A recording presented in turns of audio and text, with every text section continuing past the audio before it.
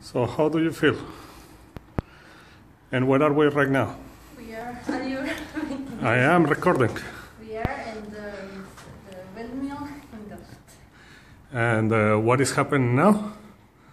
Uh, it's turning. So, it's working and the entrance is free. Do you like it so far? Can we go up? I don't know. It started working recently, or It restarted, yeah, Yeah. because they've been making the railway tunnel here Yes. underneath the, the mill. So it has been out of operation for about half a year. No, no, three years, I'm sorry. Half a year ago we restarted. And um, I guess the coming months there will be some more activities downstairs. Shop will open selling natural products. Okay. So by that time we probably also will start grinding again, as we did before. Mhm. But now we are only operating the mill to uh, have it going as for fun with a number of volunteers. Cool. I saw uh, some place down there. Is, is someone living here? In one one floor down. I saw like.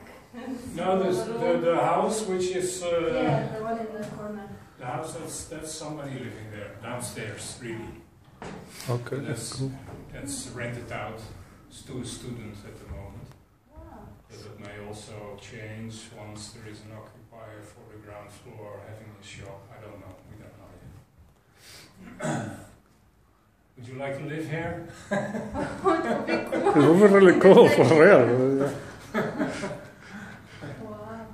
Wow. But I cannot imagine how expensive will be the rent because it's an historical place. Yeah. Yes, yes. It's, uh, I don't think that it's very cheap. I don't, uh, I don't know the prices. Yeah.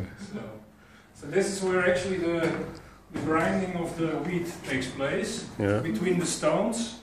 Now you see that axle is not running at the Yeah. moment, but one floor higher I can put it into action. Yeah. So the stone will start turning, the top stone, Yeah. the bottom stone is just stable, it's fixed. And the, the wheat is coming from there, it's put in the middle. And because of the rotating action of the stone, as well as there's a, you can see there's a little, little pattern where they face each other, the stones. It's gradually moving outwards and it comes out from there like flour. Mhm. And the box, of course, is still closed, but on this rotating stone, there's just a piece of wood which takes all the flour to this hole, and indeed here, there is a bag standing here, so that's where we get the, the flour. How do you fill it in? From the big box. From, you see the, Ah, the ah, large, okay, okay, okay. that's the very large box, and it goes into the pyramid shaped thing, and from there, there is, there is another transport system, which is shaking a little bit, which gradually uh, imports the wheat into the, into the mill. Very nice. I'm gonna make one stupid question. How old is the windmill?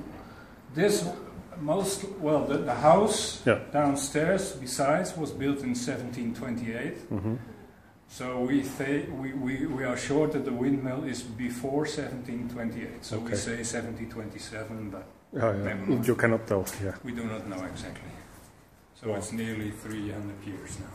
It's pretty cool. 15 years. It's my first time that I've been living here three years, and it's the first time that I've seen one of the windmills actually Okay. working, and Alright. from and from the inside. It's, All right, okay. Uh-huh. It's really cool.